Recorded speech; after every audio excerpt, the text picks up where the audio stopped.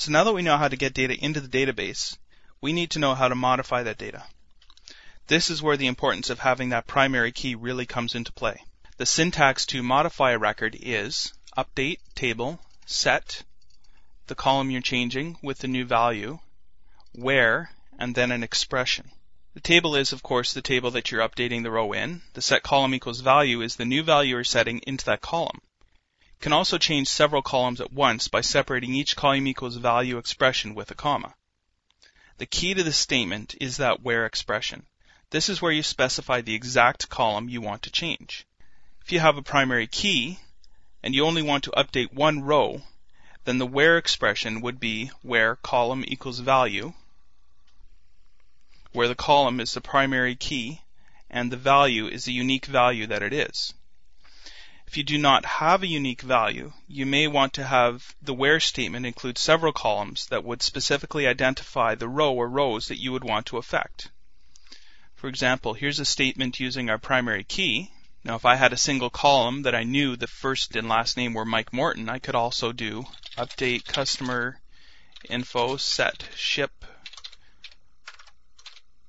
last name equal Mike where ship first name equals Mike and ship last name equals Morton. And that might work as well. You can, of course, also update more than one row with this statement. The where expression is used in both the update and select statement and is really the core of manipulating and retrieving data in MySQL.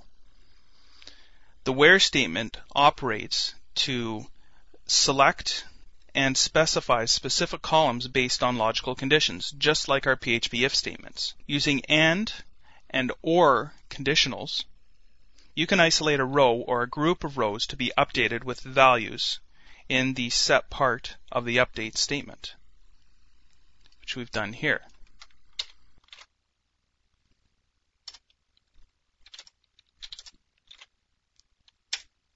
And we just as we get the message, one row affected, one row matched, one row changed. Now the select statement is very similar to the update statement, except that you're retrieving a row or a group of rows rather than updating. The syntax for the select statement is select columns from table where expression. This is a very basic select statement. The select statement can be much more complex, but that falls outside the realm of this course. In the select statement, the columns part can be specific columns or an asterisk if you want to select all columns. The table part is of course the specific table to select the data from. And the where expression is the conditional statement that will isolate a specific row or set. So for example, if I wanted to select all of our columns, all of our rows that we've entered into our customer info table, I would do select star because I want all of the columns from customer info. No where statement because I just want all of the rows. And there we have each of the rows, one, two, and three, with the data that we inserted into those rows.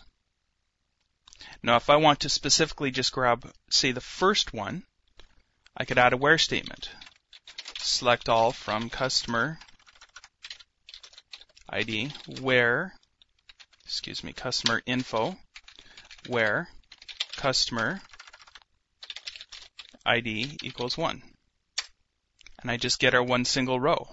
If I just wanted to select specific columns, select ship first name, comma, ship email from customer info.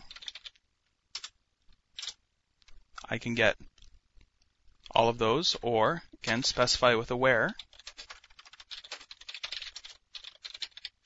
3. And there we go, one single row with just two columns. One more thing that we can add to this statement is sorting. In a lot of cases when retrieving data, it is important to order the data that you are retrieving. So to the end of the select statement, you can add the following. Order by, column, and then optionally ascending or descending. Column part is, of course, the column name you want to sort by. The ASC is an ascending sort, and the DESC is a descending sort. You can also sort by more than one column by separating each column and ASC DSC statement with a comma.